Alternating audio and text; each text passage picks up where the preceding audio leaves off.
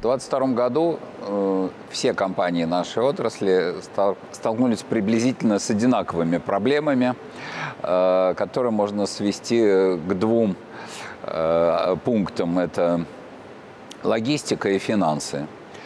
Что касается логистики, то она стала быстро дорожать, и образовался дефицит путей перевозки. А что касается финансов, там наблюдались э, изначально такие очень загадочные явления, когда э, мы оплачивали товар нашим поставщикам.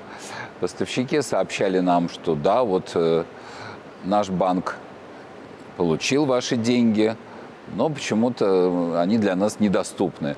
У нас даже в конторе это назвали эффектом Печкина. То есть мы видим ваши деньги, но мы вам их не дадим. Решая эти две задачи, мы э, ну, делали свое дело, старались поддержать ассортиментное разнообразие, старались не провалиться по стокам, и обеспечить всех потребителей как минимум тем, к чему они привыкли, но еще и обеспечили несколько новинок. Мы приняли участие в эксперименте, которое э, объявило правительство Российской Федерации, и э, в рамках этого эксперимента построили э, таможенный склад и склад временного хранения большой емкости, большой производительности, что позволило нам наклеивать федеральные специальные марки, их еще э, больше известны в народе как акцизные марки, это их старое название, э, в России. В чем новизна этой ситуации? Раньше Э, в Россию могли въехать вина или крепкие алкогольные напитки исключительно с наклеенными акцизными марками. Без этого запрещался ввоз. Это создавало определенные сложности, определенные логистические задержки и так далее. Не буду их все перечислять в коротком интервью. И в основном эту работу делали специализированные предприятия в Прибалтике. Поставщики с тех пор, как это стало так сложно и ответственно, категорически отказывались этим заниматься. И, например, эм, такое логистическое преимущество Петербурга, как наличие морского порта, никак не могло использоваться, потому что э, так или иначе товары двигались через Прибалтику, а не через морские порты. В результате мы имеем колоссальную гибкость, мы можем не только свой э, импорт обеспечить вот этой схемой, но и оказывать услуги, что очень важно. И э, мне кажется, Э, тоже очень интересным момент, вот это прям как в учебнике, да, э, один проект, он э, тянет другие. Я считаю, что наш порт вновь может восстановить такую специализацию, как импорт алкоголя. Мы, кстати, первые везли наш контейнер без марок, то есть на нас морской порт Санкт-Петербурга опробовал э, эту схему, и теперь будет, наверное, этот бизнес тоже развивать.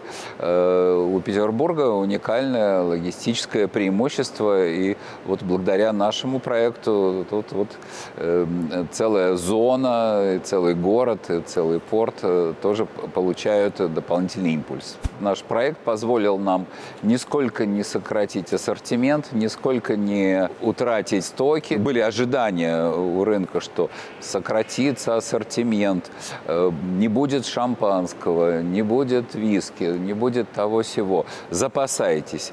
Э, ну, конечно, все запасались и молодцы, но э, мы не столько не провалили логистику, мы, например, э, в прошлом году наклеили четыре раза больше марок на шампанское. И, и, разумеется, продали в четыре раза больше шампанского, чем раньше. Мы на 55% выросли по игристому вину импортному.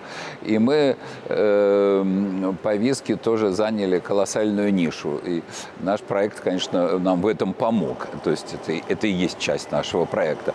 Что касается 2023 года, мы хотим э, продолжать развивать это наше преимущество. Мы хотим оказывать услуги э, в результате работы нашего проекта, нашего таможенного склада. Эм, мы хотим э, э, расти в каждой категории импорта. Но помимо этого не надо забывать, что компания «Ладога» является производящей компанией, и мы очень большой рывок сделали, предлагая рынку всевозможные продукты отечественного производства.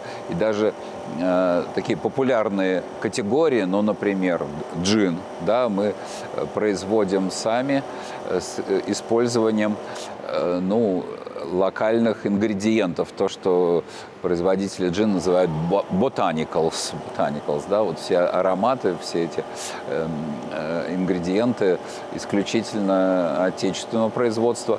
Мы разливаем виски и готовим еще несколько линеек новых продуктов.